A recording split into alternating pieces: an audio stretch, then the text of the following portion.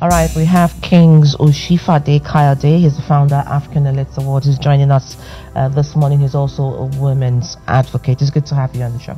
Good morning. Good morning.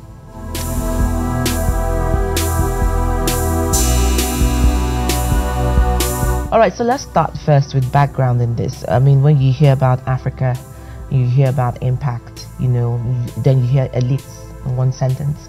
A lot comes to your mind, but tell us how this started. Once again, my name is Kings uh, African Elite Award. It's so inspiring. I'm an African, and I think we need to do beyond what you are doing for Africans. We have the great space on head, but we don't know what we are. And when you don't know who you are, you begin to malfunction. So and I told myself, well, this is the best time we should promote Africa. And where am I Africa? How do I want to promote this Africa? In culture, in what we wear, in our outfits, in what we speak, how we look.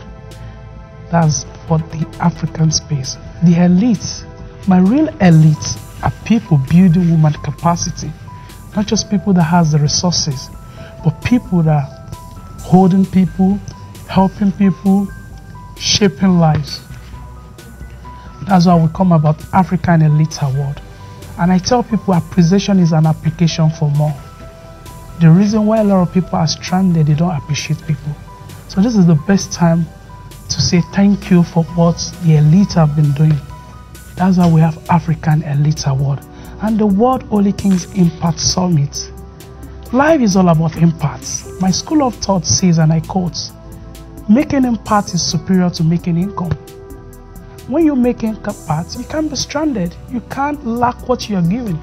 I've never seen a pipe that gives water and still lack water. And this is the best thing we can do for ourselves. This is not just that the, uh, the, the award people we do we've been doing. No, this is the time. That's why we say promoting and empowering Africa. This is the best time. The reason why people are going into things is because their mind is not busy. That's why we want to empower the youth. The reason why we're having kidnapping is because people are less busy. And I can't fight war. The best thing I can do is to empower youth in our little space. We're trying to eradicate poverty. We pray God help us. Thank you very Okay. much.